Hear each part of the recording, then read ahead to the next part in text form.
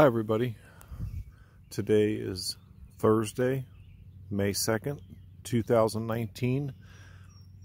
what I've done here is I took in this box that's in the middle and it was a package, it was a dead out from over the winter. I installed a package at the end of March. So that package has been in there for five weeks. She's been laying, they've got brood fresh bees, lots of them. What I ultimately did was broke it down and pulled out five frames of open nectar and honey and put it in the bottom box of the left small nucleus hive. Put a queen excluder. When you are going to raise queens, queen cells, if a stray queen would come back from a swarm or whatever, it, it does happen occasionally end up in the wrong box. If a queen ended up in that box and you've gone through all the work, she will tear down all of those cells. So in the upper box, there's five frames in there. The center frame is the cell frame, a frame specially designed to hold plastic cups. Then on either side of that are open nectar and pollen, a frame full of fresh pollen from this year. And on the two outer frames are just kind of mixed. They got a little bit of honey, but either way, pulled out 10 frames from the original hive. Turn that original hive the opposite direction and moved it over.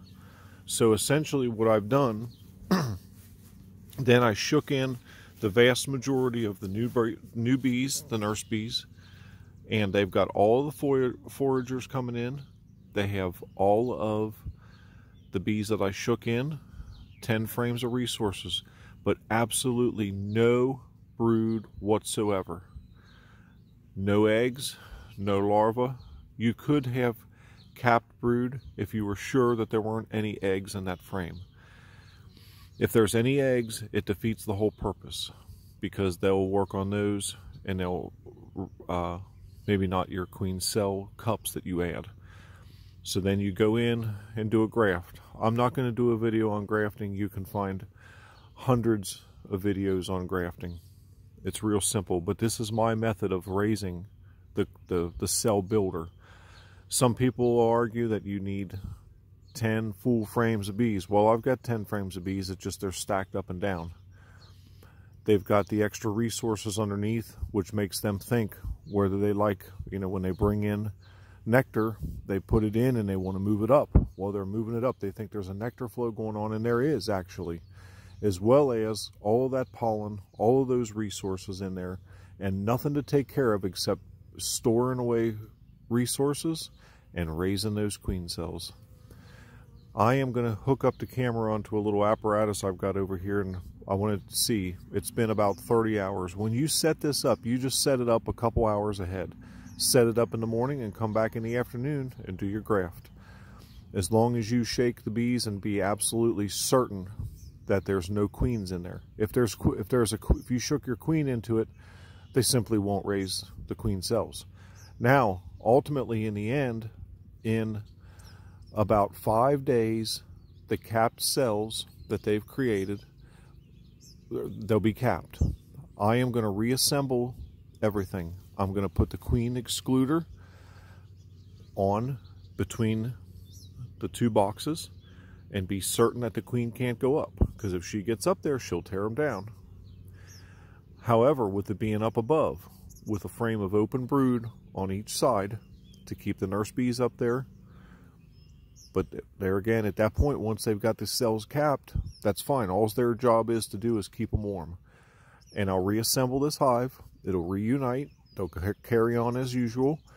And somewhere around day 10, 11, 12, in that range, day 10 or 11, I will create these small mini mating nukes, the two frame boxes over there. I'll put a frame of of uh, bees and resources, as well as one of those queen cells and an empty blank frame for them to work on later and let them let that queen come out and hatch and get going. So that's the plan. that's how I do it. Um, it works really well. All these resources there again will get all reunited. It's just a short time that they're apart. Everything works out well. Um, but I want to take a look and see. It's been about 30 hours since I did the graft and just see how well they're coming along with that. So we get this hooked up.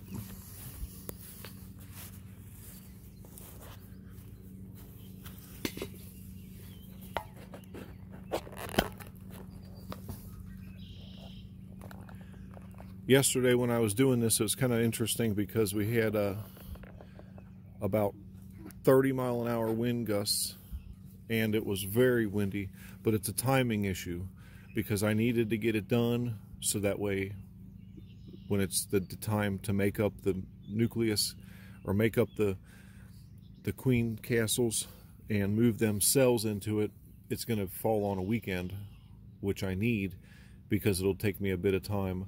And it's just a timing issue. I didn't want to wait. Um, if you try and do this on a on a weekend, then you're going to be in the middle of a week on that day, 10, 11, doing the transfer. So let's go ahead and get into it. You should be able to see me from there.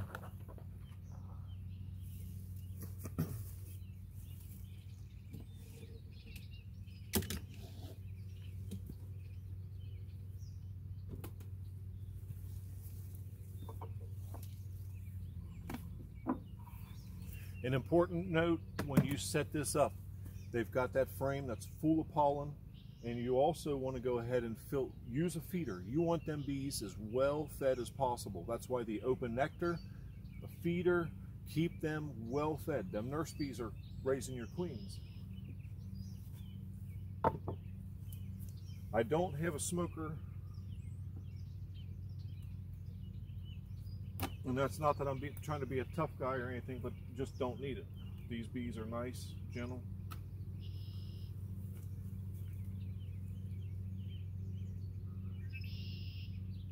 Lots of bees up there. And I can see from here that they got, we're going to see what, what it looks like when we pull it out of here. Go ahead and really gently get these frames apart.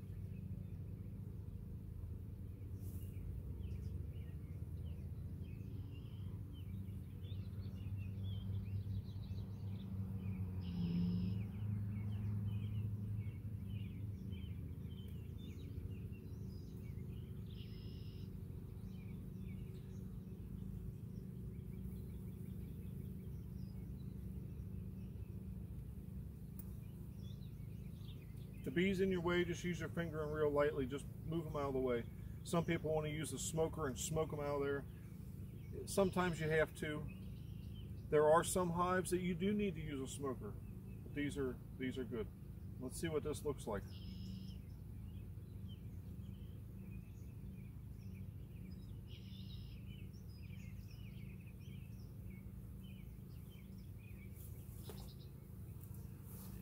Now we got to be really careful because these eggs, the larvae that are in there are hanging upside down and we don't want to do anything to jar them. Right now, there's one right there that they didn't accept, one on the corner. But the rest of them, it would certainly appear that we have full acceptance of the others. And see if I can get one cleared off so you can kind of see where they're uh, building out that wax just in a little over 24 hours. Come on, girls, we want to get a picture. So with these being clear cups, I can see right now that they've filled them very well with royal jelly. They're going in and they're already building those queen cells. It'll look like a peanut hanging down off each one. Somewhere around uh, three quarters of an inch or so. These bees, I mean, I can feel it. The, the fanning of them is, uh, it's like a little cooling fan. But they adjust the temperature to be what they want. But you can kind of see along there, they're, uh, except for that one, they're working on all of them. So let me get this back in there.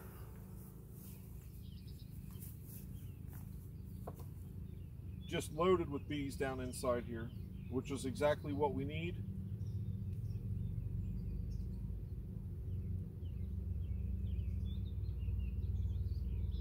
So that's exactly what I wanted to see. Um, that's good. At this point, I just, I had to see it. I wanted to do a video yesterday of putting it together, but it was just too windy. You can imagine trying to shake a frame full of nurse bees down in here in the wind. Um, it was uh, quite fun. But sometimes we just do what we got to do. We got to take advantage despite whatever weather conditions.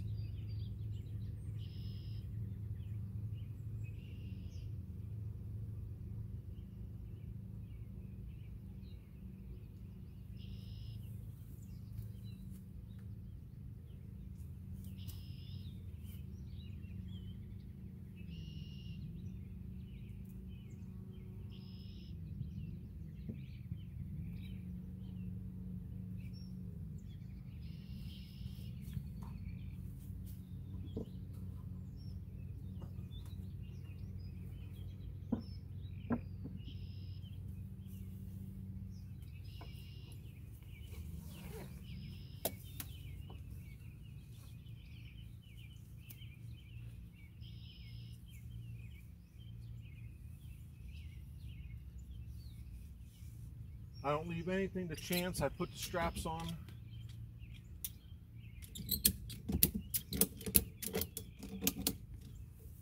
So there again, ultimately here in a few days, or well in five, on day five, those cells will be done. They'll be capped. The bees are going to fill them full of royal jelly. And at that point, um, they'll be capped. And aside from keeping them warm, at that point they could be pulled out and put in an incubator. Some people will use a chicken egg incubator, which holds around, you can set just the, they, the, uh, the incubation temperature for all of these bees is right around our human body temperature, 97, 98 degrees in that range. But uh, no need for that. The bees will take care of it. To pull that frame out for a minute or two and look at it, no problem when I reassemble this and have that queen excluder to make sure they're just going to be up in there, let them keep them warm. They'll keep them. Just the main thing is, if we wanted to, we could use, they make hair roller, hair roller cages that I could assemble around each queen cell and allow them to come out into those individually. That would be one option if I had to go out of town or something, or if there was a worry. The biggest thing is just making sure that because if you get to day 13 or 14 and they all they will all hatch within hours of each other. Um, nature's an amazing thing. So i'll do a follow